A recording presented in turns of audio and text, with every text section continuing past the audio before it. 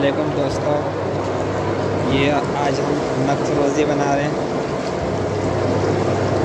नक रोज़ी है। ये देखिए, ये शेड है। ये गीला हो रहा है, सूखने के बाद लाइट हो जाएगा नक रोज़ी हम नीचे बना रहे हैं, नीम गर्म पानी में। जैसा भी डालेंगे आधी घंटे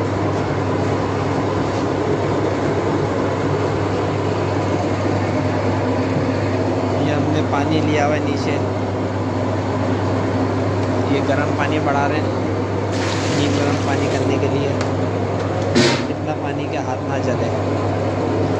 भाई, हमने कलर बना के रखा हुआ है। ये देखें, ढोलकी में कलर बना के रखा हुआ हमने।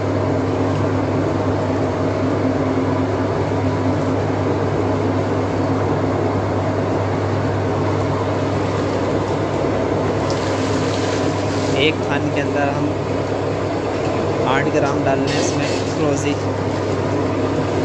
सबसे पहले हमने फिक्सल लगाया था।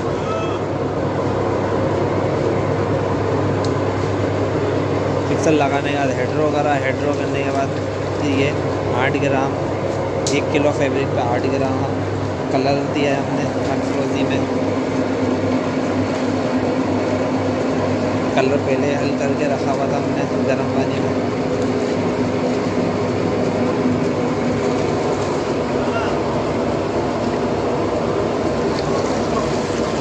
के ऊपर नीचे करेंगे ताकि कोई फैक्ट्री ना आए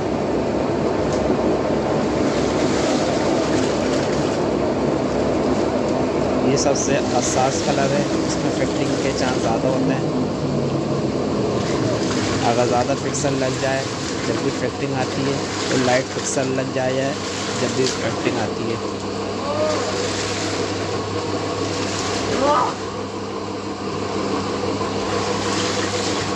इन्होंने छः थान डाले, एक एक थान ऊपर नीचे करेंगे।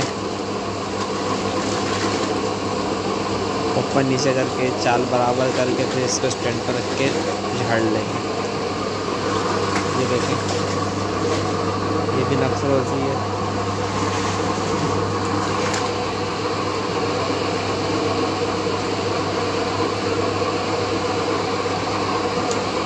रोज़ी का लाइट होता है।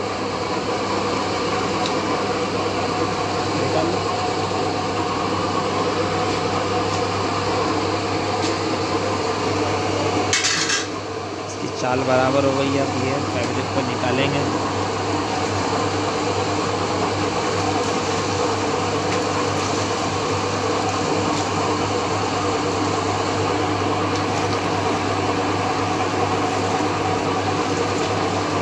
एक एक थान अलग अलग निकालेंगे।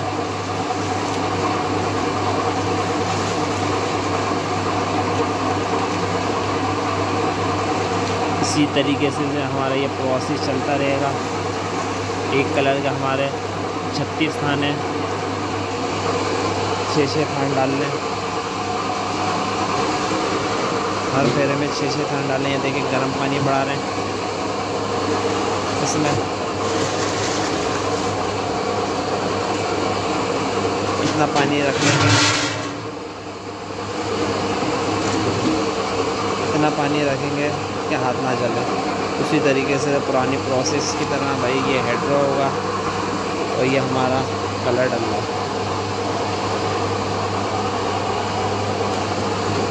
इसी तरीके से प्रोसेस चलता रहेगा। मेरी वीडियो को लाइक करें सब्सक्राइब करें ताकि आने वाली वीडियो आपको आसानी से मिल सके।